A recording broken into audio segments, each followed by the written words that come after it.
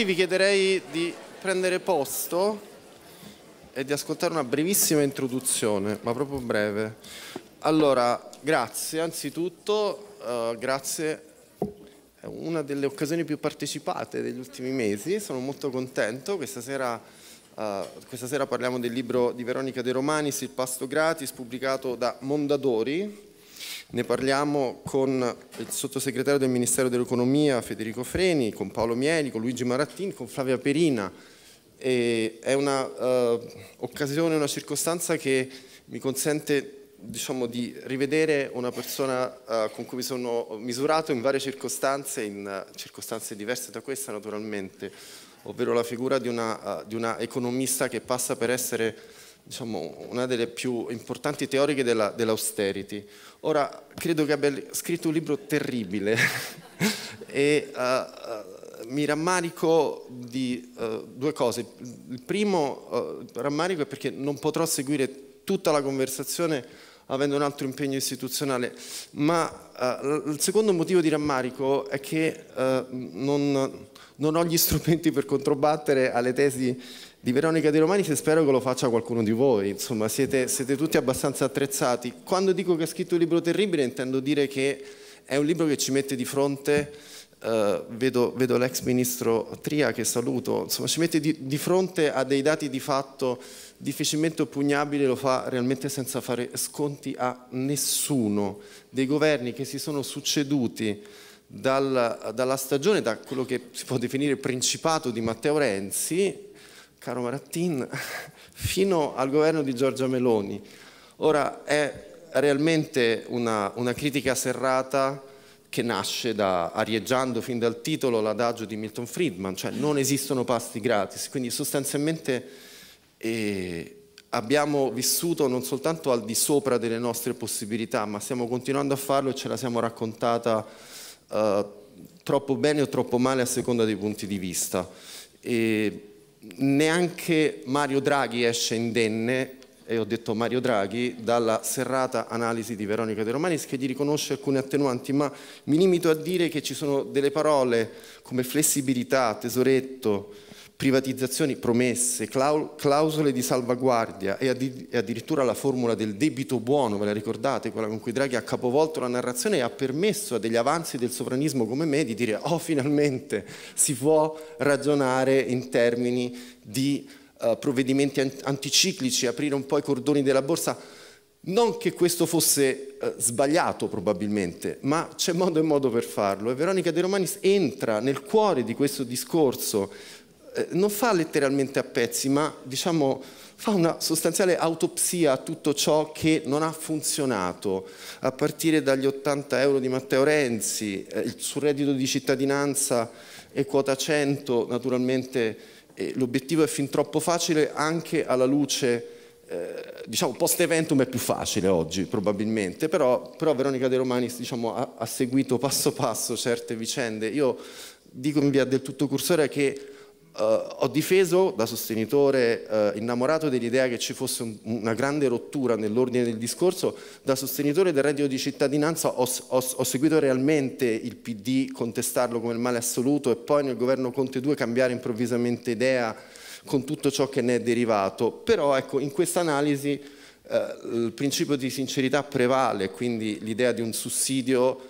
Uh, per i meno capienti, uh, per i meno abbienti viene salvato, ecco, poi ne, parlerete voi naturalmente, non devo essere io, ma poi, ma poi, siamo tornati con la mente al cashback, ve lo ricordate? Uh, la politica dei bonus, la metafisica del PNRR e del fatto che avessimo bisogno di tutti quei soldi maledetti e subito, e fino alla tassa sugli extra profitti, alla conferma dei tagli al cuneo contributivo, tutto ciò viene preso e letteralmente fatto eh, oggetto di una serratissima critica, con l'onore delle armi, riconosciuto al fatto che giallo-verdi sono quelli che hanno alla fine tenuto i conti più in ordine finché non hanno sbracato e che il presente governo di Giorgia Meloni ha iniziato molto bene la famosa agenda Draghi, probabilmente la scia comunque di un percorso estradato e oggi rischia l'effetto Truss. Sull'effetto Truss vi lascio con un po' di suspense e vi auguro buona conversazione.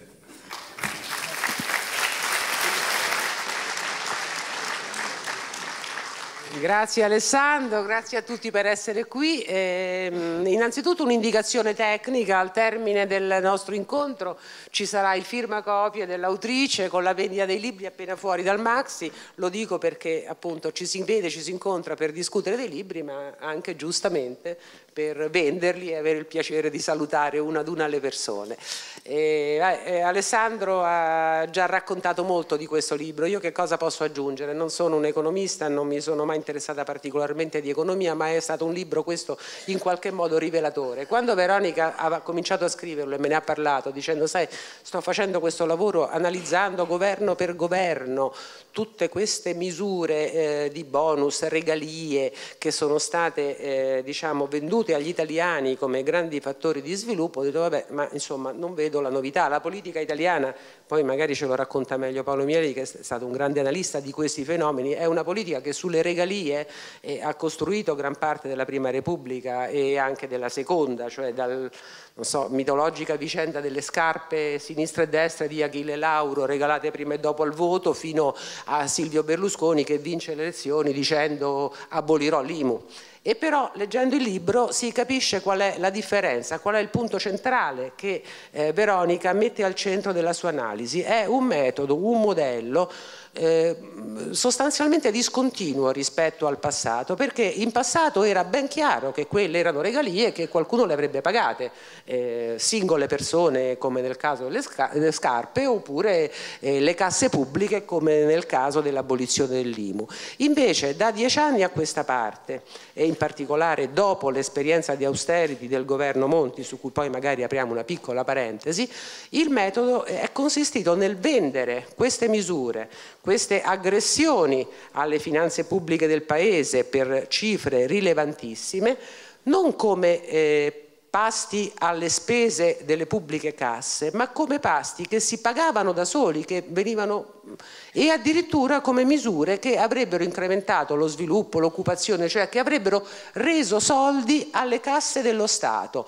Eh, gli italiani le hanno in gran parte creduto, eh, i commentatori, i, i politici sono andati in televisione a spiegarci come ciascuna di queste singole misure avrebbe presentato un enorme beneficio per le casse pubbliche, avrebbe aumentato lo sviluppo, avrebbe aumentato i posti di lavoro, avrebbe fatto bene alle casse dello Stato e quindi la narrazione si è completamente sovrapposta a quelli che erano poi i contenuti autentici, che sono appunto quelli pasto, di un pasto che non era gratis, ma era pagato con i soldi delle tasse di tutti noi, i soldi delle nuove generazioni, le prossime, eh, le prossime eh, le prossime risorse dello Stato che sono ipotecate da qui all'eternità praticamente.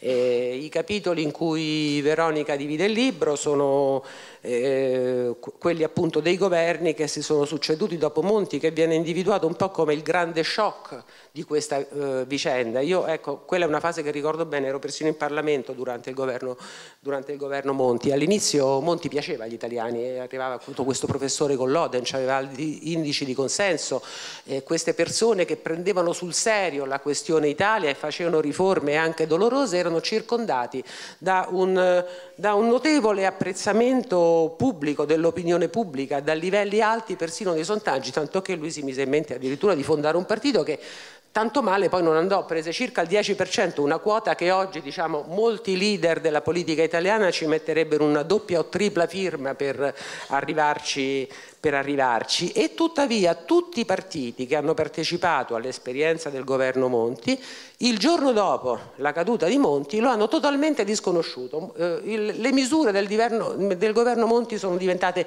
i grandi nemici della politica italiana e in ogni pro programma elettorale di ogni singolo partito sono entrate cose che sostanzialmente demolivano quelle misure. La, il simbolo più grosso è quello della della eh, legge Fornero che resta tuttora una specie di bestia nera, tutti l'hanno votata, eh, perché l'hanno votata tutti, e però è, eh, la, la, responsabilità è disconosciuta, sembra che sia esclusivamente di Elsa Fornero e del Ministro Monti. Quindi questo il meccanismo, è un meccanismo che inganna le opinioni pubbliche che per molti versi poi alla fine forse hanno anche piacere di essere ingannate perché eh, certo che fa, molti di questi provvedimenti hanno fornito importanti sostegni a interi settori, queste regalie sono arrivate a terra, hanno aumentato i redditi, hanno consentito persino a delle persone di comprarsi gratis il monopattino, quindi alla fine non è che uno dice no, io il monopattino non lo voglio, oppure gli 80 euro in busta paga li restituisco perché mi sembra, mi sembra una truffa.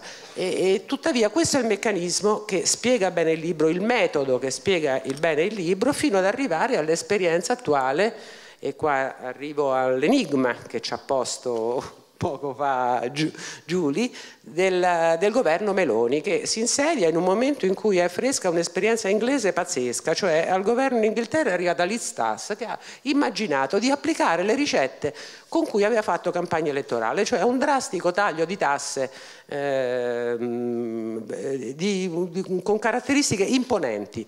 Vara questo provvedimento, in cinque minuti crolla la sterlina, i mercati si imbizzarriscono, succede un putiferio, in parte lo revoca, eh, sperando di ammortizzare i danni e poi è costretta alle dimissioni. Ora, questa cosa è stata molto poco guardata in Italia e tuttavia e tuttavia forse ha avuto un effetto anche sulle scelte di Meloni che arriva al governo promettendo pasti gratis per un valore che gli economisti e i giornalisti avevano calcolato in 80 miliardi di euro se non mi ricordo bene con l'abolizione delle accise sulla benzina, l'abolizione della legge Fornero, il ripristino di quota 100, eh, sgravi enormi sull'assunzione di, nuove, di nuove mh, eh, di nuovi dipendenti nel, nelle aziende private, eh, c'era un elenco lunghissimo di eh, provvedimenti promessi, però si insedia e invece tira in barca, fa due manovre molto prudenti e mh, mm, consapevole del fatto che non sarebbe stata probabilmente perdonata dai meccanismi generali dell'economia, perché poi quando diciamo mercati noi diciamo la fiducia degli investitori,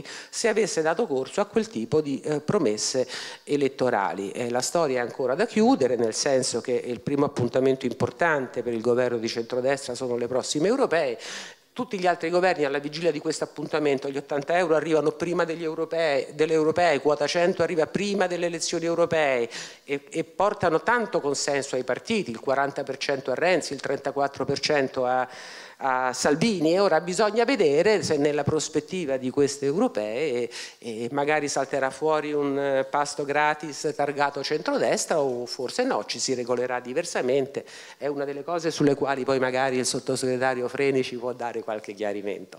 E, però eh, ecco, passo volentieri la parola a Paolo Mieli con una... Mm, una curiosità mia, ma eh, cioè alla fine io capito, non c'è un elemento di ingenuità nella voce degli economisti che continua a dire basta, bisogna spenderli, eh, smetterla con questi pasti gratis. Cosa altro può vendere la politica oggi? I grandi sogni, i domani che cantano, la rivoluzione liberale, tutte queste cose eh, ormai sono state macinate dalla storia. Alla fine la, eh, il modello dei pasti gratis non è anche un modo con cui la politica riempie un vuoto di, pro, di proposta e di appeal sulla pubblica opinione che altrimenti non saprebbe come riempire? Allora, grazie e prima di parlare mi scuso che dovrò assentarmi appena ho finito di parlare perché avevo un impegno, mi sono sbagliato, insomma, ho preso un impegno precedente, credevo che cominciasse alle 6, non me la sto a fare troppo lunga. E, e rispondo alla tua domanda, sì, eh, c'è però un modo, eh, ci dovrebbe essere un modo per eh, non essere il paese in cui la politica, non c'è bisogno di andare molto lontano, se avete seguito le elezioni in Sardegna e in Molise avete visto che sono soprattutto quelle in Abruzzo, scusate, sono state delle cose di promesse di pasti gratis eh, a tutto spiano, cioè ormai esiste una retorica pubblica che credo che sia anche quella che affolla questa sala qui stasera, eh, che è fieramente contraria ai pasti gratis.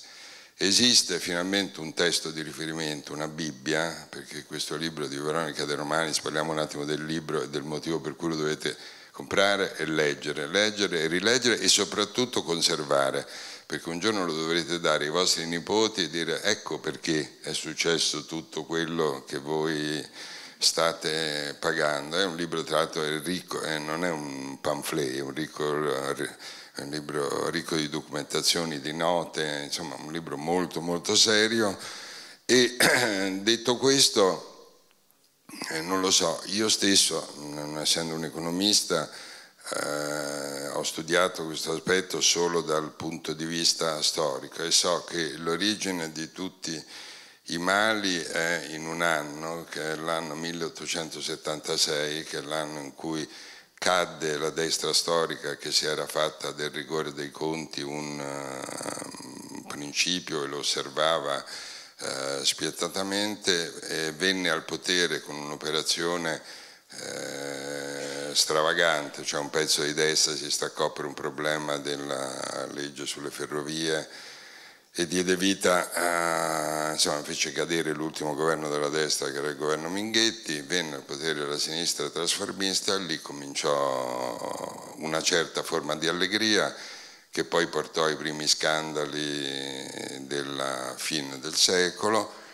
e poi finalmente arrivò un Dio che ci autorizzò al pasto gratis e che si chiamava John Maynard Keynes cioè è stato un nome eh, in omaggio al quale abbiamo potuto mangiare e mangeremo gratis, noi che stiamo qui eh, per tutto il resto della nostra vita, possiamo promettere e tu non ti preoccupare che i cordoni della borsa non si stringono, i cordoni della borsa si allargano e se eh, devo descrivere come questa cosa è andata, è andata su dei miti e delle parole chiave. Allora, cioè, come si fa a risolvere il problema del debito? Con lo sviluppo.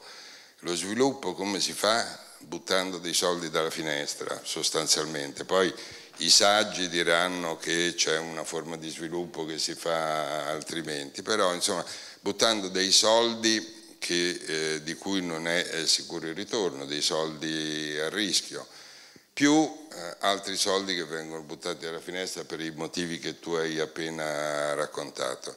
Ci sono delle parole che quando voi le sentite eh, dovete drizzare bene le orecchie, che sono nei programmi di governo in genere, eh, ed è colpire l'evasione fiscale, non perché sia male, perché quando vi dicono come si fa a recuperare questi soldi, si colpisce l'evasione fiscale, i più scarsi di fantasia dicono nazionalizzando delle caserme che sono deserte e che servono ad ogni cosa, per rifare le prigioni, per coprire i soldi che mancano, così. E poi l'altra parola magica è il tesoretto che spunta sempre nel momento in cui si fa la finanziaria quando ci sono dei buchi, cioè fra colpire l'evasione fiscale e il tesoretto abbiamo fatto il pasto gratis e ogni sera ce ne usciamo belli satolli dal ristorante e nessuno ha pagato.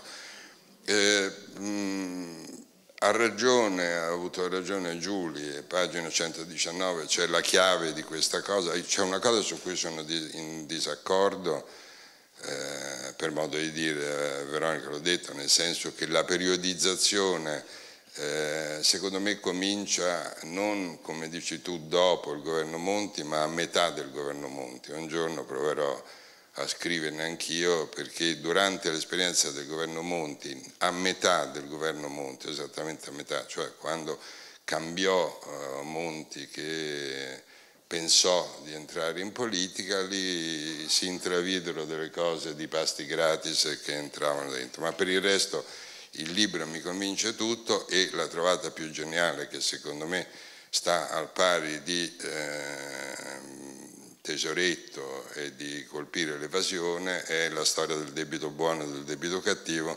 fatta prima di andare al governo perché eh, ho sempre capito com'è il debito buono, che è quello che facciamo tutti noi, non ho mai ben capito dov'è il debito cattivo e chi fa un programma eh, di governo e si presenta e lo realizza contro il debito cattivo. Quando sentii quella cosa del debito buono capii che eh, finalmente avevamo risolto il problema e il famoso decennio dei tecnici, perché questo è uno strano decennio che andrà studiato, perché è un decennio in cui adesso non vi offendete, ma al potere ci siete stati voi, tranne Giuli, ma eh, voi che siete qua davanti, per via indiretta, ognuno dirà di no, ognuno dirà no, io non c'ero, io ero da un'altra parte, però è stato un decennio in cui non, non comandava la politica che aveva vinto come negli anni precedenti, uno poteva dare la colpa a Berlusconi o a Prodi o alle, o alle mollezze di Berlusconi e Prodi, ma che si è aperta con Monti e si è chiusa con Draghi non a caso e che in mezzo ha avuto dei governi cosiddetti di tecnici, di unità nazionale, pasticciati, mezzi da una parte e mezzi dall'altra, ma non governi che rispondevano elettoralmente a un elettorato. Dico voi, dico voi ma dovrei dire noi, cioè dire, mi metto ampiamente dentro questa sacca e eh, saremo chiamati a rispondere. Un giorno se qualcuno ritirerà fuori il libro di Veronica De Romanis ci dirà ma scusa eh, tu che le sapevi tutte queste cose? Una di voi le ha addirittura scritte? Come mai le cose sono andate come sono andate?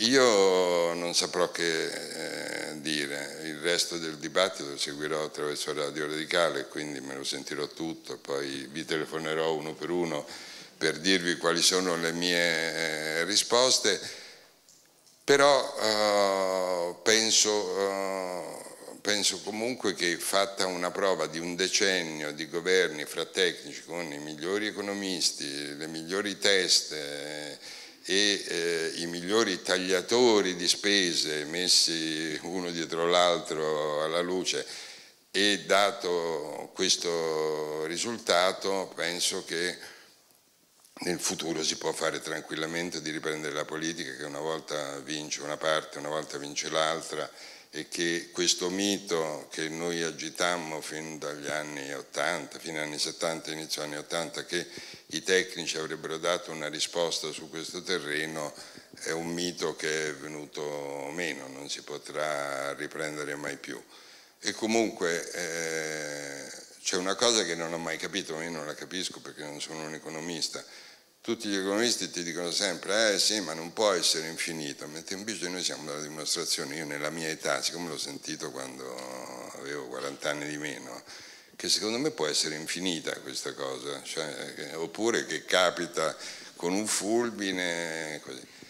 E ehm, se vi capiterà di andare, o alcuni di voi tornare al governo, non abbiate paura, c'è sempre una pandemia, una crisi, una guerra d'Ucraina, una lotta al terrorismo, due treni che si sono scontrati, c'è sempre un motivo per allargare i cordoni, quindi che Giulio non si preoccupi, i cordoni resteranno sempre larghi e ci sarà sempre un grande motivo nazionale, internazionale, una febbre, un'alluvione, una cosa e il cordone si rallegherà e noi vivremo tutti felici e contenti, però mi raccomando a cena quando vi trovate dite così non si va avanti, perché sennò fate la figura dei cretini, così di qui a breve, di qui a breve l'Italia esploderà. Con questo ritmo e accumulo di debito pubblico non si può, dovete alzare la voce, poi avvicina, alzarvi, andare vicino alla tenda e tornare con un'aria corrucciata a tavola, se no fate la figura del cretino come sto facendo io adesso. Grazie.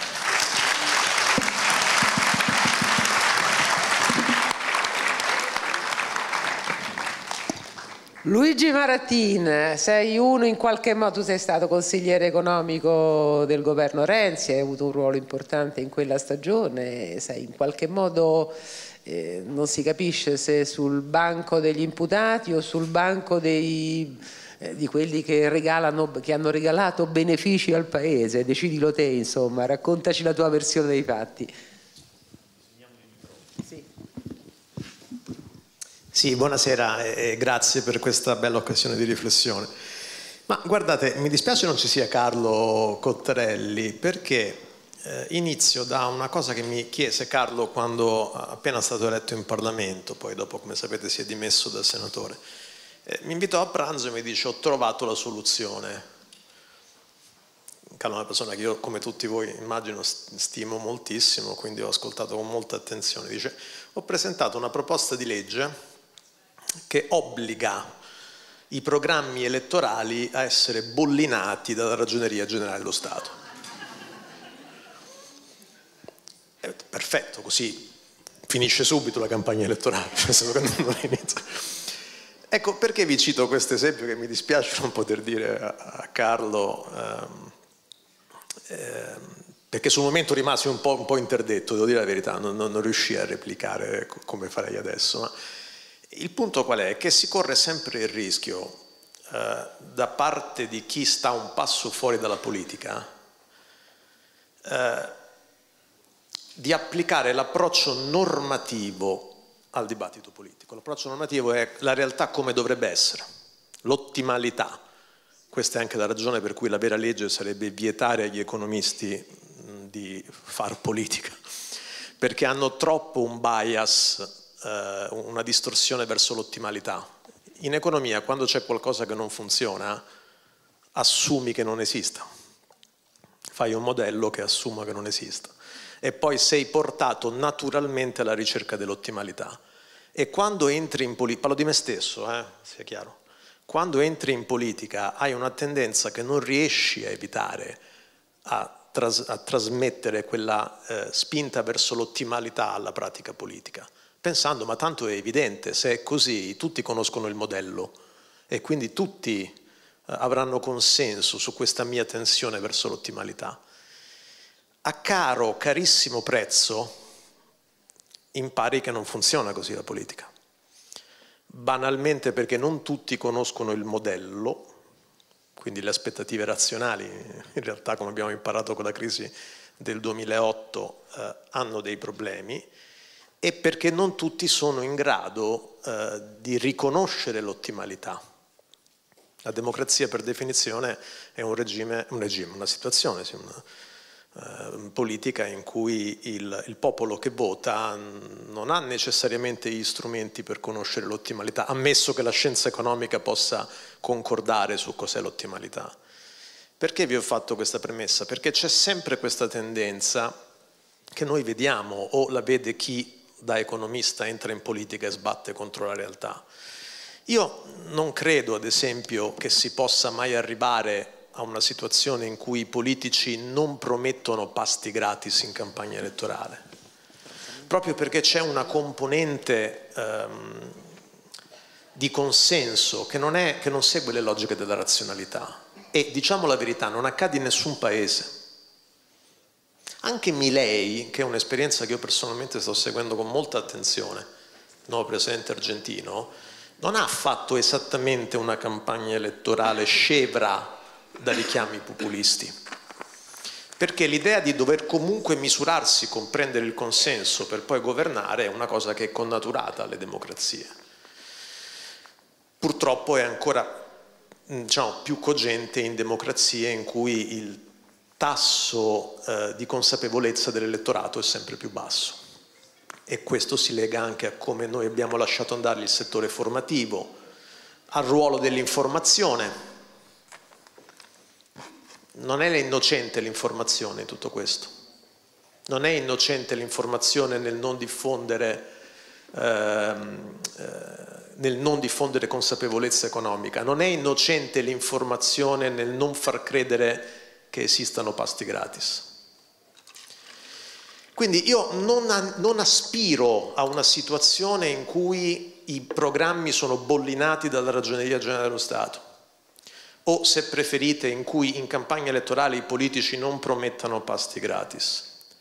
Perché non è realistico data la situazione, anzi temo che per come sta peggiorando la consapevolezza del corpo elettorale italiano, la situazione sarà sempre peggiore da questo punto di vista. Mi accontento, quando dico che ho sbattuto la testa contro la situazione, eh, ho anche imparato ad accontentarmi, che in Italia cambi direzione da un certo punto di vista. Io l'altro giorno, quando Istat ha pubblicato i dati il primo marzo del 2023, sono andato a vedermi anche per eh, prepararmi a questa bella discussione eh, del, libro, del bel libro di Veronica, a come è andata la spesa pubblica italiana dal 95 ad oggi. E dal 95 ad oggi hanno governato veramente tutti, anche dal 2010 in realtà, anzi dal 2012 hanno governato tutti.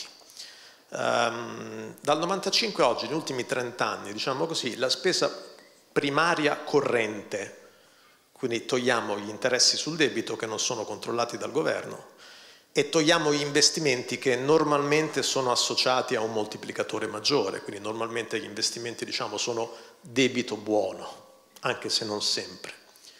La spesa corrente primaria in Italia negli ultimi 30 anni in termini reali, quindi oltre l'inflazione, è aumentata del 76,1%, vuol dire il 2,6% all'anno.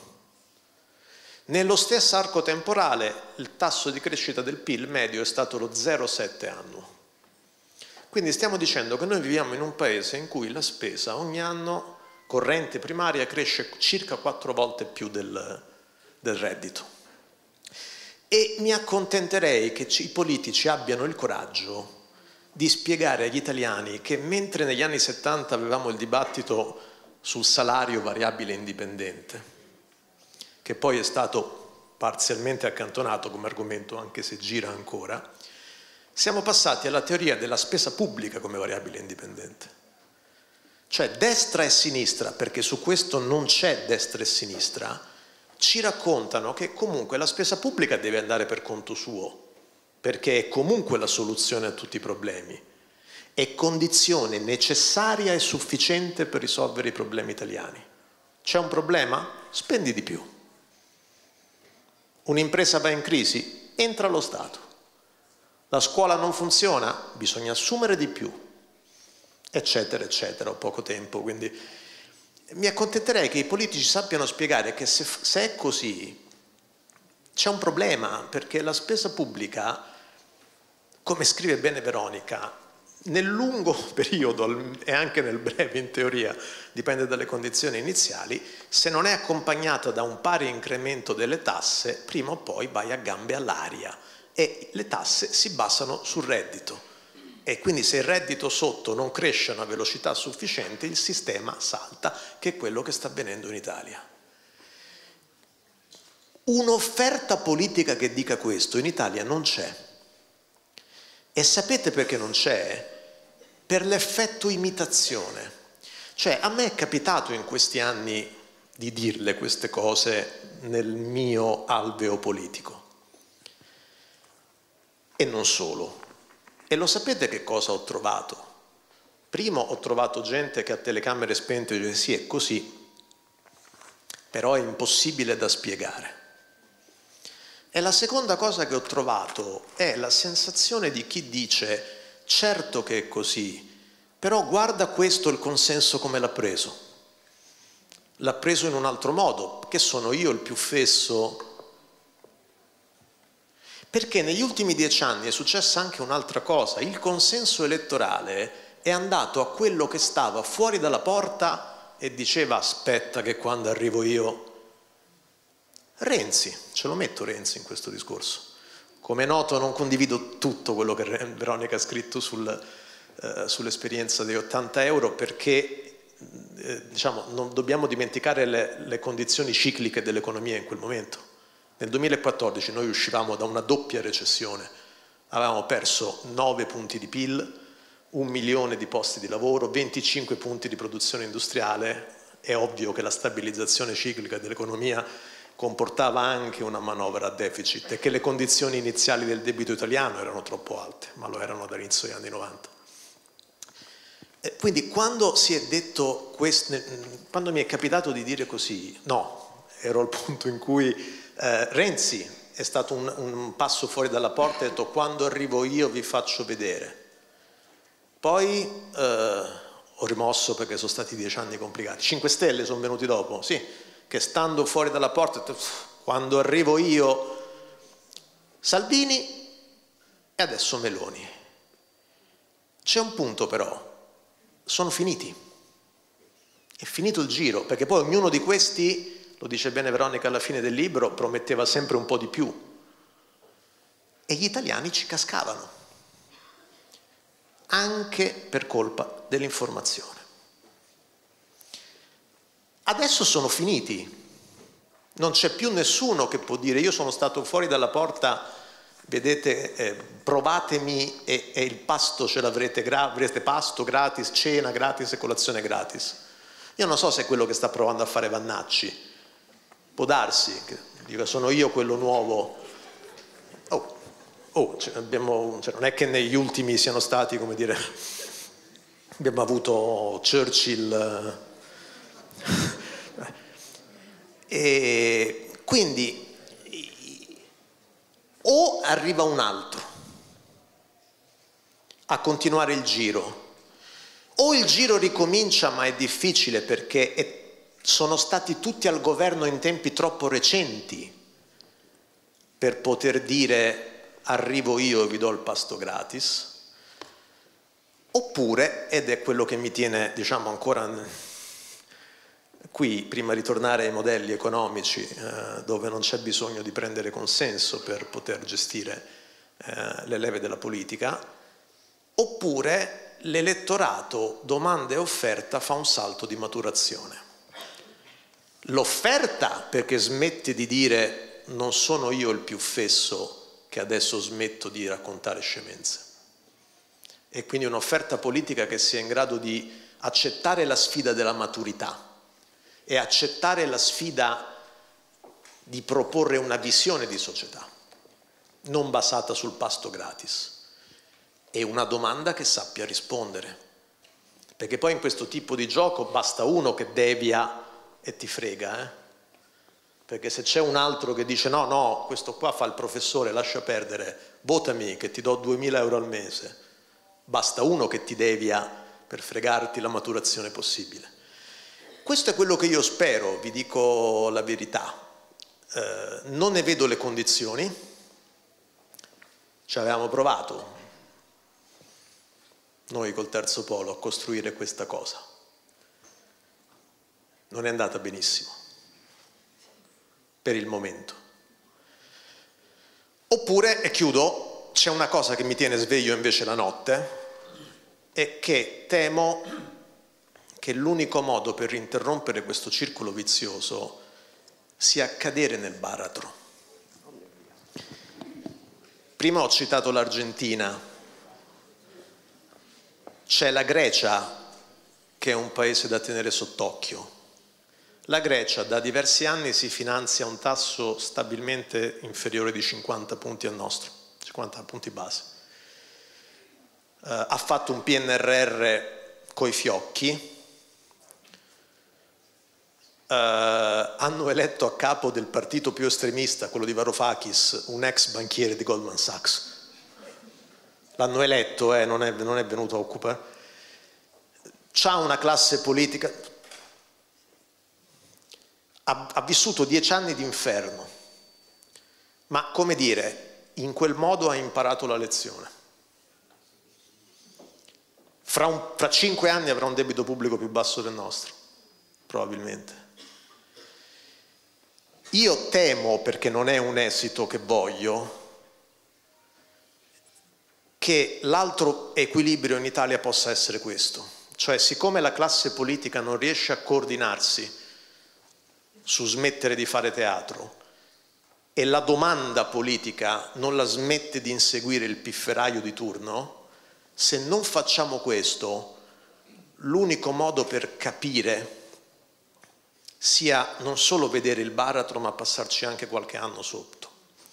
E siccome è una cosa che non auspico, io spero vivamente che ci sia un processo di maturazione della domanda politica che per definizione in democrazia ha sempre ragione. Gli elettori non sbagliano mai a votare, se vogliamo essere veramente democratici. Devono prendersene le conseguenze dopo, però non sbagliano mai. E soprattutto dell'offerta politica.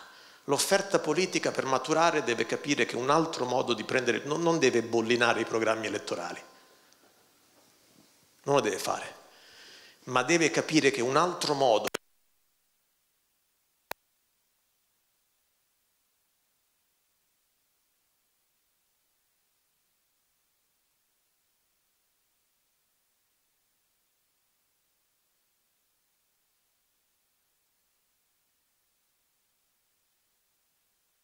di tutto quello che abbiamo fatto in passato.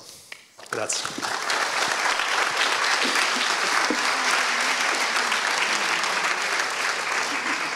Sottosegretario Freni, allora ci dice Maratin le regole del consenso non sono le regole dell'economia e quindi eh, alla fine per il principio imitazione è molto difficile che un governo possa esentarsi dall'offrire pasti gratis. In realtà il governo di Giorgia Meloni, come racconta bene Veronica nel libro, è un governo che è stato finora prudente, ha cancellato alcuni pasti gratis che si erano sommati nel passato, ha fatto un intervento importante sul reddito di cittadinanza, ha chiuso anche se non in modo definitivo, quasi definitivo col tema super bonus, eh, due argomenti sui quali Persino Mario Draghi, con tutto che ne parlava malissimo, non era mai riuscito a mettere una barriera proprio per la natura del, del suo governo e della sua maggioranza e ci si chiede è arrivato questo cambio di tendenza oppure appunto visto che mancano pochi mesi alle europee scopriremo in questi pochi mesi qual è il pranzo gratis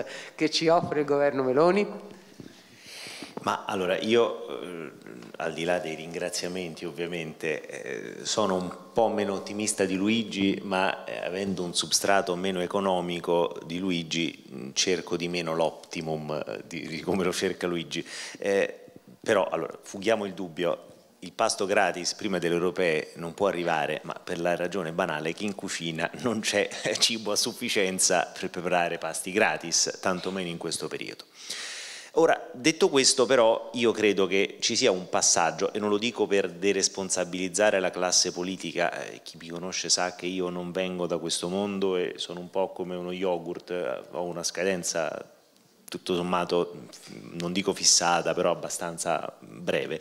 c'è un passaggio, sono a pagina 120, eh, che secondo me è la chiave di volta per capire l'andamento di tutto questo eh, viene ribadito anche in un pezzetto della premessa, eh, siamo nelle conclusioni. A un certo punto, citando un premio Nobel, eh, si dice noi scegliamo, leggo, le cose facili, l'interesse personale, il rifiuto del dialogo. Quindi incolpare i politici è sbagliato, persino controproducente. Le loro azioni sono in gran parte l'emanazione delle nostre richieste. Abbiamo le politiche economiche che ci meritiamo. Ora, io, e questo per questo dico sono meno ottimista di Luigi, perché credo che eh, in realtà immaginare... Questo, questo. Eh, non è un passaggio tuo, è un passaggio eh. citato, del, del, non mi ricordo come si chiamasse il premio Nobel che citavi, ma è, un, è, una citazione di questo passaggio, di questo premio Nobel, che non mi ricordo come si chiamava, però vabbè. E, qui il tema è che immaginare che oggi la politica possa avere questo ruolo, non voglio dire educativo, non voglio dire maieutico, non voglio dire nemmeno di guida, è quantomeno utopistico Oggi la politica non guida, è guidata. La politica, purtroppo, eh, lo, lo, dico con dolore, la politica è guidata, la politica è, eh, come dire, proprio perché c'è quell'effetto emulazione per cui se la spari te la devo sparare io perché altrimenti non votano te, votano me e via così. Le politiche economiche non sono improntate, nessuna politica economica è improntata a un sano e prudente eh, realismo fermo restando che poi sul debito mm, qualcosa c'è da dire eh, anche sulle tendenze globali del debito.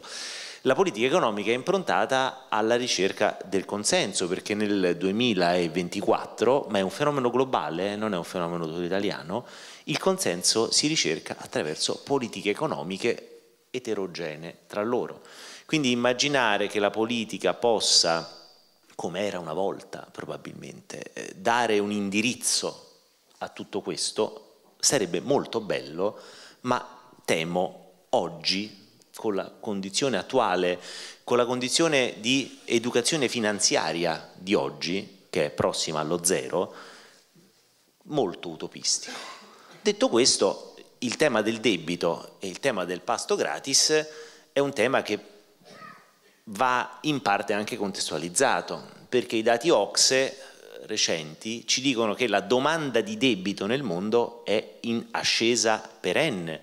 Noi siamo passati, me l'era appuntati questi numeri, eh, noi siamo passati da un debito nel complessivo eh, mondo di 40 trilioni nel 2019 a un debito nel 2023 di 54 trilioni con una prospettiva 2024 di 56 trilioni, 2 trilioni di debito in un anno. Ora, che il ciclo dell'economia mondiale sia un ciclo drogato dalla dinamica del debito, purtroppo è un dato con cui dobbiamo fare i conti. Che poi la dinamica del debito in paesi come il nostro e in contesti economici, devo dire, come il nostro, abbia delle ripercussioni strutturali diverse, è un dato con cui pure dobbiamo fare i conti, però dobbiamo anche dirci che eh, anche qui c'era un bel grafico dell'Ocse che fa vedere eh, Italia e Grecia, in questo caso vicine, debito molto alto, debito pubblico molto alto, indebitamento privato molto basso. Ci sono paesi che hanno indebitamento privato altissimo e debito pubblico bassissimo. Ora io non so quale sia la soluzione migliore, forse una buona via di mezzo, però scappare dalla dinamica del debito a livello globale, secondo me, è anche qui utopistico. Detto questo dobbiamo porci razionalmente la domanda se avere o non avere il nostro debito oggi sia sano? E la risposta è ovviamente no. La risposta è tutti i pasti gratis, è bellissima l'immagine del pasto gratis perché riesce, e questo devo dire che è un tratto caratteristico del libro di Veronica, riesce a spiegare eh, una serie di dinamiche anche molto complesse eh, in termini semplici ma non generici, eh, mantenendo il rigore dell'argomentazione ma consentendo a chi legge di intendere, a prescindere che abbia o meno una laurea in economia e non è poco visto che si tratta di spiegare tematiche tutto sommato eh, non propriamente banali. Dicevo, tutti questi pasti gratis che abbiamo tutti eh, più o meno consapevolmente apparecchiato sono pasti gratis eh, che hanno certamente impoverito la dispensa, perché eh, la dispensa alla fine è rimasta vuoto. Quello che abbiamo chiamato tesoretto era semplicemente eh, qualcuno che aveva fatto la spesa, eh, hai trovato un pacco di pelati, un pacco di pasta che dici faccio la pasta o, me la mangio subito o li tengo per l'inverno quando farà freddo, e cioè usciti di metafora, vado in abbattimento del debito o me li consumo come tesoretto per fare X politica eh, che può essere sempre emanazione ovviamente di un indirizzo politico? La risposta è stata quasi sempre in questo Paese no, mettiamo in tavola qualcosa perché tanto eh, ci sta da mangiare, perché se la sparo più grossa di lui prendo più voti di lui, se la spara più grossa di me altrimenti li prende lui o altrimenti sarà lui a dire che lui avrebbe usato il tesoretto in questo modo e alle prossime elezioni regionali, politiche, circoscrizionali, europee prende sicuramente più voti di me. Poi dovremmo interrogarci eh, nella complessiva dinamica politica se sia sensato eh, avere n consultazioni più o meno una ogni settimana elettorali tali da falsare la dinamica perché dovremmo anche essere eh, così razionali da capire che se la dinamica elettorale è così pressante da falsare perché è ovvio che la narrativa del pasto gratis c'è, è, è inutile negarlo, forse non voglio dire che se votassimo eh, ogni quattro anni per tutto, tutto insieme sarebbe più semplice, però probabilmente votare ogni settimana non è... Esatto, midterm, ecco, fa una cosa di mezzo, voti ogni due anni, insomma, già forse qualche politica economica più seria si potrebbe costruire. Però tutti questi pasti gratis, il vero problema, vero, della narrativa, di una narrativa che si innesta come correttamente Veronica ha scritto, su un contesto di sconoscenza finanziaria da parte dell'elettore, questa narrativa è una narrativa che si fortifica nel momento in cui si dice eh, però guarda che effetto sul PIL ti ho creato, eh, guarda che sì, ti ho speso, ho aumentato il debito, ho fatto questo in deficit, però volano per l'economia c'è stato. E allora la domanda, eh, io penso al quello che eh, perlomeno a me che eh, in questi ultimi due governi mi ci sono dovuto confrontare non tanto dal punto di vista politico quanto dal punto di vista dei numeri, eh, ha tolto parecchie ore di, di, tempo, non voglio dire di sonno perché poi uno dorme, però di tempo eh, il super bonus dice sì, hai però guarda abbiamo dato la ripresa, eh sì grazie eh, tanto dico io, butta 148 miliardi sul 150 malcontati sul sistema economico e voglia te se crei un effetto volano sul PIL, ci manca pure che non lo creano 148 miliardi eh, un effetto sul PIL dovunque voi li mettiate, dovunque. La domanda che dobbiamo porci è se le politiche dei pasti gratis che abbiamo fatto, cioè su questi n miliardi di euro che abbiamo impiegato sul sistema economico, li abbiamo impiegati nel modo corretto, perché buttare soldi, buttare, insomma, mettere soldi sul sistema economico crea sempre, quasi perlomeno, un effetto volano. Bisogna capire se quei soldi impiegati in modo diverso avrebbero creato un effetto volano maggiore avrebbero creato un effetto più duraturo sul sistema economico. Probabilmente eh, investirli in sanità avrebbe creato un effetto più solido è sempre il discorso del fuoco, no? tu accendi il fuoco, lo accendi, fa una bella fiammata, però poi se hai acceso con la legnetta la, la fiamma, il fuoco si consuma subito, se ci hai messo legna solida magari la fiammata è meno bella da vedere ma è più duratura. È ovvio che se poi la legna è anche bagnata, la fiammata sarà bassina e il fuoco si spegne. Se la legna è secca al punto giusto, la legna brucia bene.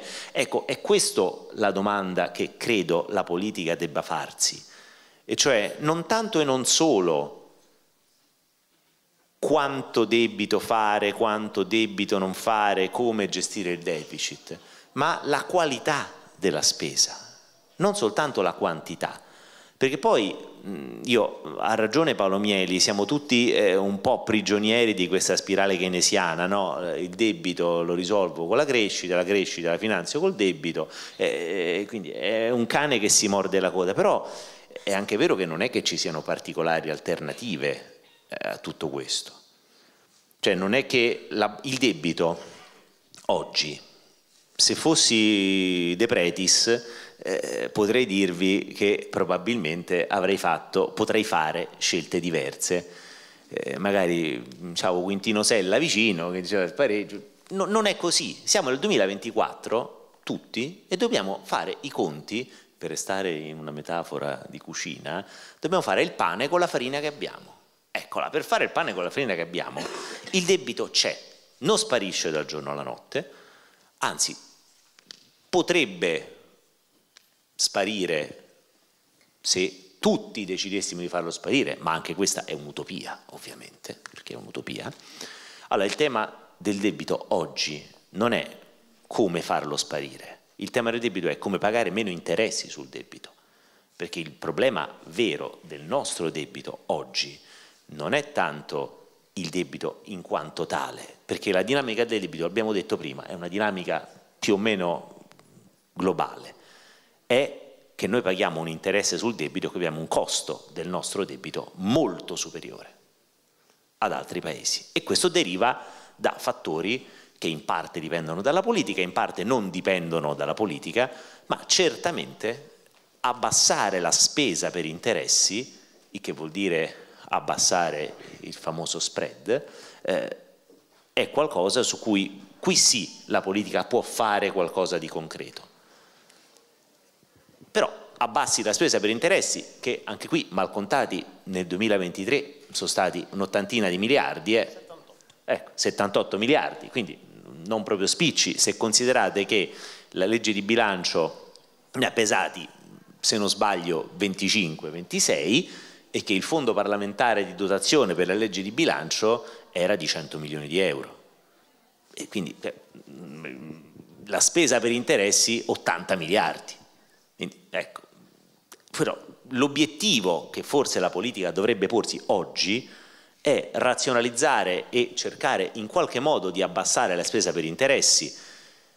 E io lo dico subito uh, ad evitare fraintendimenti, io credo che la, quella che quelli più capaci di me chiamano la giapponesizzazione del debito, e cioè il passaggio del debito come in Giappone eh, quasi tutto in mano al risparmio retail e quindi ai privati sia anche quella una bella utopia, si può lavorare su questo, devo dire che uno dei, per quanto mi riguarda, non pochi meriti di questo governo rispetto al debito sia stato quello di cominciare a portare il debito eh, nel nella disponibilità dei, dei cittadini e quindi con risparmio retail, però anche lì, ora, vuoi che siamo bravissimi? BTP Valore ha fatto 18 miliardi, vuoi che facciamo altre tre emissioni, altre due emissioni?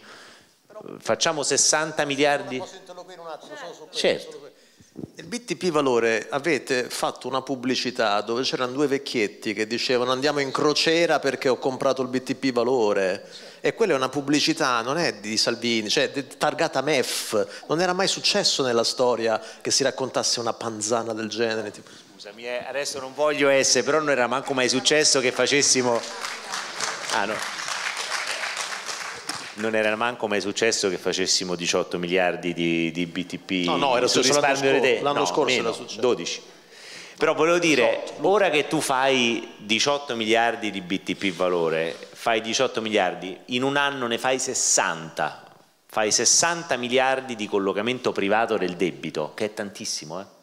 tantissimo e il fabbisogno di debito di quest'anno sono 355 miliardi, una cosa sì, 160 miliardi, diciamo 360, ci sono altri 300 miliardi da collocare eh? e, e li collochi a un costo probabilmente molto più fluttuante. Quindi il tema vero su cui noi dobbiamo tutti, noi politica, oggi interrogarci è il costo del debito e la gestione del costo del debito.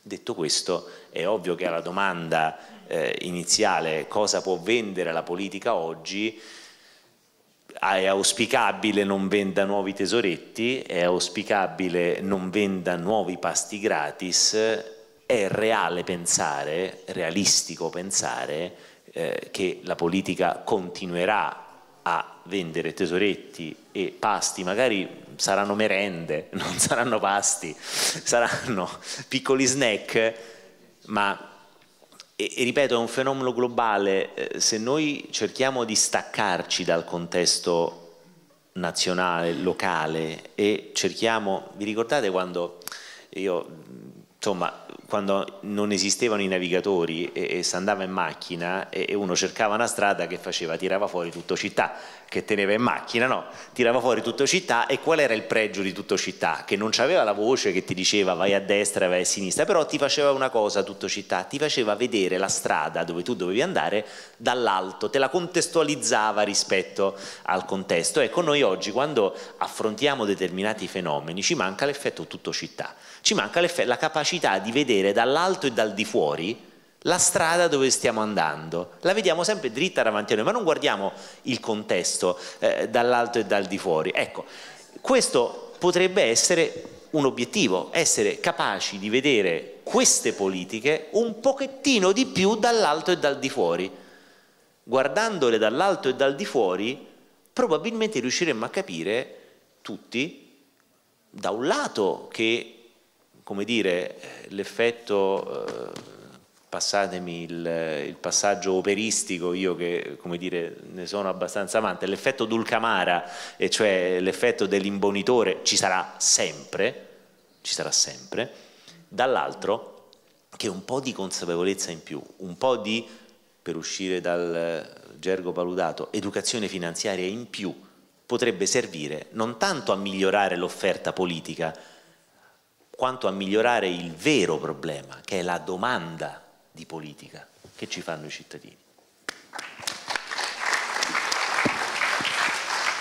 Bene, tocca a Veronica, insomma la politica, eh, Veronica ci dice non ci sono alternative, al massimo questo pasto lo possiamo cucinare un po' meglio eh, oppure ridurre un po' le porzioni, però grandi alternative non ci sono. A te e le conclusioni di questo dibattito. Allora, intanto grazie moltissimo di essere venuti, sono molto onorata.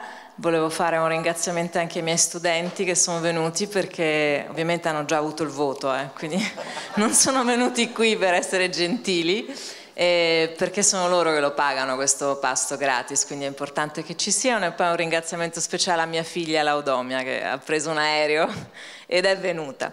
Ok, allora che cos'è il pasto gratis? Il pasto gratis è un metodo che come io dico nel mio libro eh, usano tutti i governi eh, di presentare la spesa pubblica come se fosse senza costi e in più non si spiega qual è l'impatto, chi pagherà e quanto si pagherà.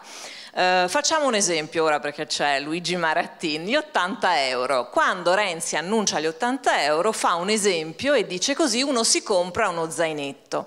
Ecco questo è un po' il metodo dello zainetto, come diceva il sottosegretario, ma è d'accordo anche Luigi. Cioè se io da un elicottero butto dei soldi in economia, beh uno zainetto te lo compri, ma anche due il problema è capire se il costo di questo zainetto è superiore all'impatto e quello che abbiamo visto nei dati purtroppo è così. Allora io nello scrivere questo libro uso un metodo che è quello di andare a prendere tutti i documenti che chiunque può trovare su internet, cioè tutti i documenti ufficiali. Uh, forse io sono un po' facilitato, ho lavorato al tesoro, quindi un po' li conosco questi documenti, però insomma stanno lì. Volendo, noi cittadini potremmo capire che effettivamente tutti ci servono eh, pasti gratis. Allora, qual è il problema dei pasti gratis e per cui sono d'accordo fino a un certo punto sul fatto che eh, non c'è alternativa? Che i pasti gratis io li definisco una, una droga legalizzata perché arriva un governo e lancia un pasto gratis, 80 euro.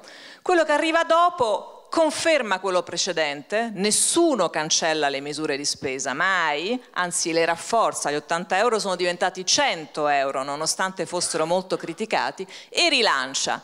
E quindi rilancia reddito cittadinanza e quota 100, poi si rilancia col Conte 2 con il cashback, i monopattini, le biciclette, ma poi bisogna inventarsi sempre qualcosa di nuovo perché i cittadini si abituano al pasto gratis, all'idea di che è tutto gratis, cioè è una magia, è un mondo meraviglioso e allora si arriva al 110% di cui tutti sono colpevoli. Questo bisogna che ce lo diciamo in maniera molto chiara, non c'è un partito che abbia detto quando fu lanciato il 110% che non bisognava farlo. Ok, ora abbiamo un'obiessione.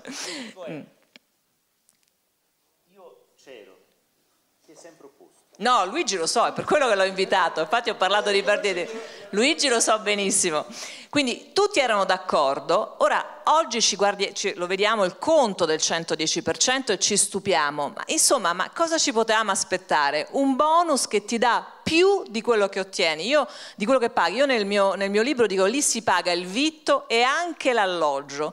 Ma perché? Perché c'è una necessità di rilanciare sempre di più. Ecco perché secondo me il passo gratis è fallimentare dal punto di vista del consenso. Perché tu magari entri dalla porta, ma poi riesci molto, molto brevemente, molto, dopo, dopo un pochissimo tempo, perché c'è sempre qualcuno che tirerà fuori un pasto gratis più, ehm, più, allettante, più interessante di quello del tuo predecessore. E quindi è un circolo. Poi però arriva un momento in cui qualcuno questo conto lo deve pagare e io nel mio libro spiego che il conto dei pasti gratis degli altri è Meloni che lo pagherà nel primo anno di, di governo. Perché? Perché ti cambiano le condizioni, non perché Meloni lo volesse fare, ma perché le condizioni sono completamente cambiate, non siamo più nella lunga epoca di tassi di interesse bassi, non siamo più in una situazione in cui la BCE ti compra il debito, non siamo più in una situazione in cui le regole di bilancio sono state sospese e quindi fare passi gratis finanziati a debito è molto molto costoso. Ed ecco che Meloni ha dovuto rivedere il reddito cittadinanza, eh, ridurre eh, il bonus 110 eh, sotto il 100%, togliere delle misure a mio avviso folli e regressive che aveva messo il governo Draghi come lo sconto sulle accise, che insomma uno ha lo sconto sia che c'ha la Ferrari sia che c'ha la 500, tutto questo perché il contesto ti porta a dover pagare, anche se non vuoi, i passi gratis degli altri. Ora, qual è il conto del pasto gratis che noi accumuliamo? È questo famoso, famoso debito. Allora, qui eh, quello che io faccio nel mio libro è andare a guardare come questo costo i politici tendono a nasconderlo. Ci sono vari modi per nascondere questo costo, la creatività non è certamente mancata, allora gli si dà dei nomi positivi, lo, lo, lo spiegava prima il Presidente Giuli, quindi il debito non lo si chiama debito, lo si chiama flessibilità, lo si chiama tesoretto, un po' questa idea che io mi aggiro nei corridoi del Ministero dell'Economia e trovo dei forzieri con delle casse d'oro. Ecco, il tesoretto è debito, in nessun paese al mondo il debito viene chiamato tesoretto. Ora lo chiamiamo... I giornalisti, vabbè, lo seguono. E, poi ci, lo chiamiamo ora anche scostamento. Poi ci siamo inventati anche dei trucchi contabili per nascondere il debito, le famose clausole di salvaguardia, anche qui un trucchetto che usiamo solo noi, nessun paese al mondo mette dentro il proprio bilancio dello Stato le clausole di salvaguardia che sono una promessa falsa, una bugia, in cui si dice ai cittadini guarda oggi mi finanzio 100 euro di spesa, non trovo subito le risorse, non ce le ho, ma le troverò. Se non le trovo non vi preoccupate, aumento l'IVA. L'IVA non l'ha mai aumentata nessuno se non Enrico Letta, gli altri hanno tutti pagato a debito. E quindi la clausola salvaguardia è un trucchetto per, eh, per, aumentare il debito pubblico. Poi si arriva, secondo me, con un salto, proprio anche diciamo teorico, che è il debito buono. Cioè, cosa fa il governo Draghi? forse involontariamente, non, non, capendo fino in fondo le conseguenze, ma offre alla politica un alibi meraviglioso, che è il debito buono. Allora, se il debito è buono, io non lo devo né nascondere né ridurre. E quindi ecco che il debito cattivo sparisce dalla scena. Io faccio una serie di, di, esempi di politici che ogni volta che devono presentare una loro misura dicono ma guarda che il mio è il debito buono, eh, quindi questo si può fare, quindi tutto è debito buono. Gli investimenti forse lo sono un po', ma diventa debito buono i sussidi, diventa debito buono eh, i cashback, diventa il debito buono il piano nazionale di ripresa e resilienza. E qui lasciatemi dire una cosa, noi siamo un paese con un problema enorme di burocrazia, inefficienze, storture e siamo quello che ha preso tutto e subito 200 miliardi di risorse europee, di cui 122 sono a debito buono ovviamente come è stato definito, europeo, costa di meno, ma sempre debito è. E infatti quello che noi vediamo ora è che è molto complicato eh, essere diciamo in tempo. C'è anche un altro modo, lo dico perché qui c'è Giovanni Tria, l'ex ministro, c'è anche un altro modo che abbiamo utilizzato per, eh, per nascondere il debito è il modo in cui lo comunichiamo. Vi ricordate quando dal 2,4 si disse che eravamo scesi al 2,04?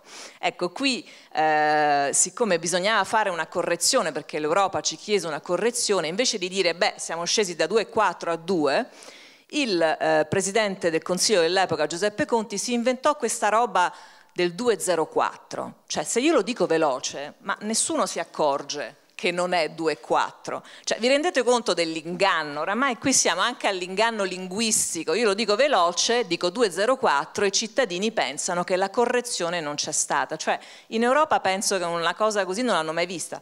Ma poi, grazie al ministro Tria, in realtà siamo scesi molto più in basso, è stato quell'anno, il 2019, quello del disavanzo più basso di sempre, ma la cosa che è interessante, che appunto ne parlavo con Giovanni, è che i eh, protagonisti politici dell'epoca non hanno neanche rivendicato quel risultato.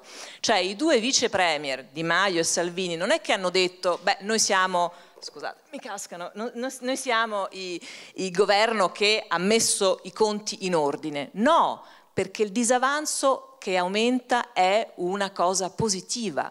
Eh, se vi leggete nel libro, io mi sono guardata per un'ora questo filmato che fu fatto quando Di Maio si, eh, si mise sul balcone e annunciò abbiamo abolito la povertà, abbiamo aumentato il disavanzo, sotto c'erano tutti i ministri 5 Stelle, allora c'era un giornalista, c'è un video, lo potete vedere, c'è il link, un video che dura un'ora, il giornalista chiedeva a tutti questi sotto Palazzo Chigi e questi ministri grillini dicevano ma, ma, io sono felice, sono contento perché il debito è aumentato. Allora il giornalista diceva beh però che il debito aumenta non è una buona cosa. E, e i grillini rispondevano: no, no, ma il debito che aumenta non è un numero, è una speranza, è un'opportunità, è una gioia nuova. Cioè, qui siamo entrati nella, nella psicologia di gruppo, cioè i numeri non sono più numeri nel modo in cui viene raccontato il pasto gratis, ma è una specie di grande terapia dove, dove il gruppo deve essere felice. Ecco, questo è veramente, secondo me, l'apice dell'inganno che, che è stato raggiunto. Ora, eh, qual è il problema dei, dei, dei, dei pasti, pasti, gratis? Che,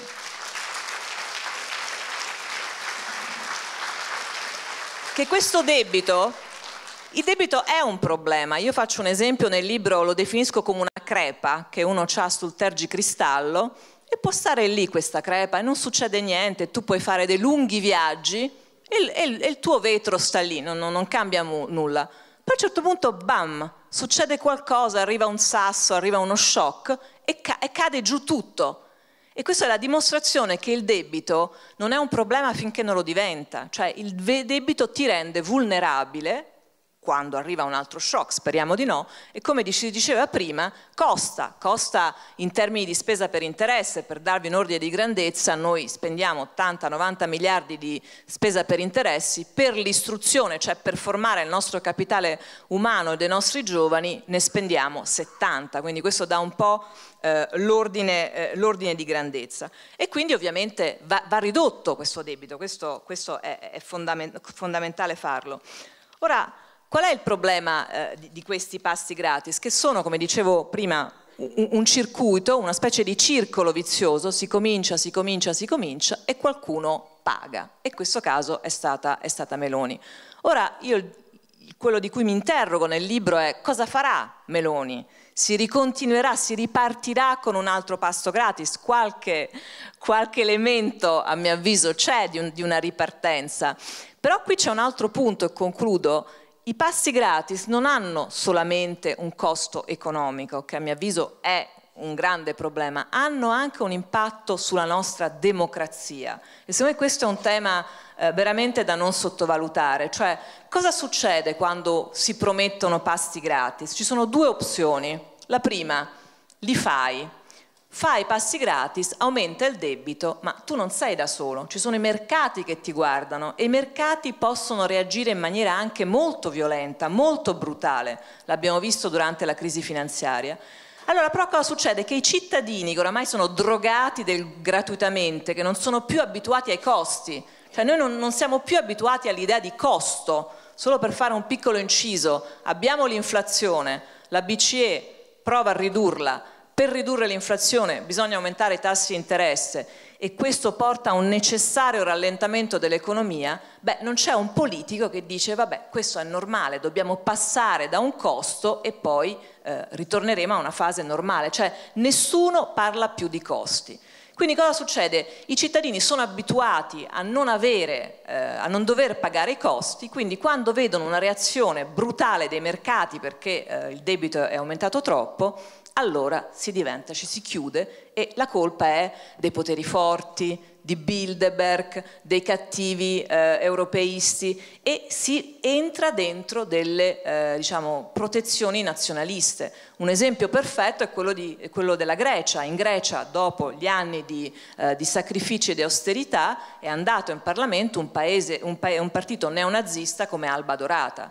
Quindi questo è il primo caso. Faccio quello che ho promesso, ho una reazione dei mercati e creo nazionalismo, nazionalismo diciamo, pulsioni nazionaliste che hanno un impatto e minano la, de la democrazia.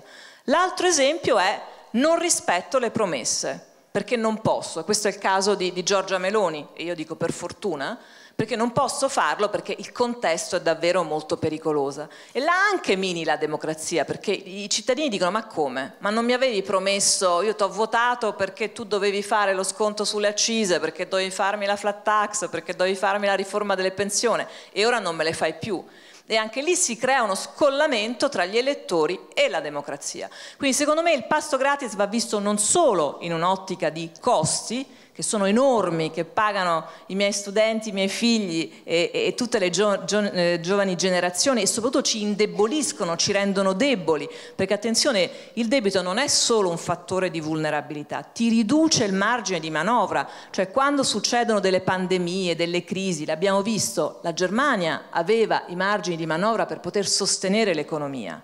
Eh, noi non avevamo gli stessi margini di manovra, quindi è anche una questione di poter affrontare meglio le crisi.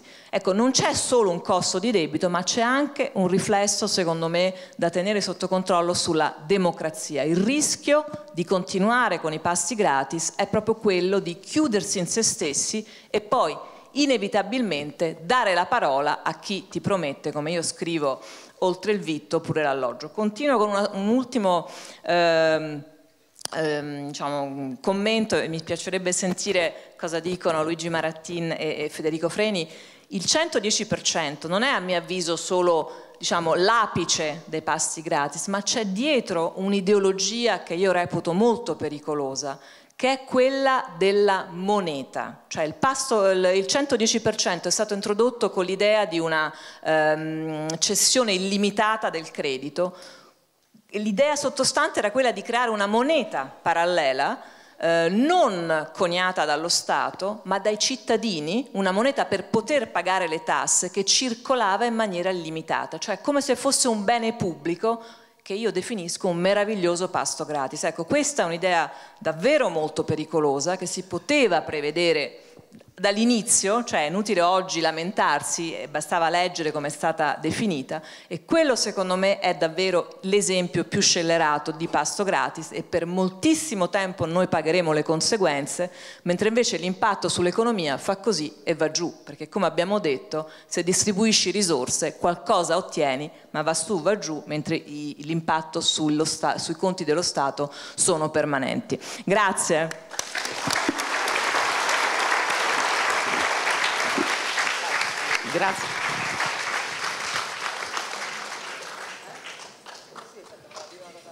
Dobbiamo rispondere alla domanda di Veronica? Ah, okay. no, allora, in 30 secondi, eh, sul super bonus, guardate, io ero il relatore di maggioranza del decreto rilancio che conteneva l'articolo 121 il super bonus. E la storia la conosco molto bene, c'è bisogno di un'altra iniziativa per farlo, ma il, la sintesi è molto semplice. La sintesi è che i 5 Stelle avevano 300 parlamentari su 900 in quella legislatura e dissero o si fa così o tutto il DL rilancio non lo approviamo. Il DL rilancio adesso non vi dice niente, ma eravamo nell'aprile del 2020 col paese in lockdown quel DL rilancio aveva 155 miliardi di saldo netto da finanziare di impegni, 65 di indebitamento netto, è stato il provvedimento di politica economica più corposo della storia della Repubblica perché c'era il paese in ginocchio, c'era la cassa integrazione, i rimborsi, vi ricordate?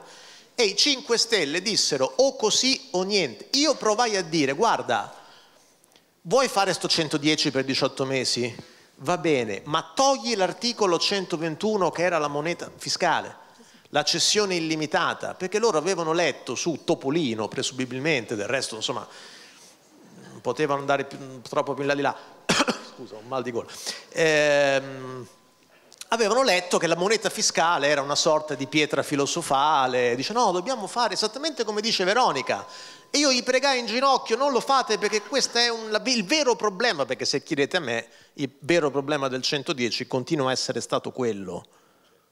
Grazie mm. Luigi. Ora, no, sono una, ti interrompo, una, ma sono una... ci sono persone fuori che aspettano Veronica sì, per il firmacopie. No, il punto è che i 5 Stelle non è che hanno fatto un golpe militare. I 5 Stelle erano nella condizione di fare quel ricatto perché il 4 marzo del 2018 ci sono stati 13 milioni di italiani che hanno messo la croce sui 5 Stelle perché hanno creduto a quelle robe.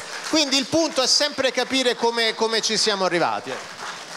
Grazie a tutti, grazie per la partecipazione. Libero immediatamente Veronica che è aspettata al banco del, del firmacopie. Buona serata a tutti.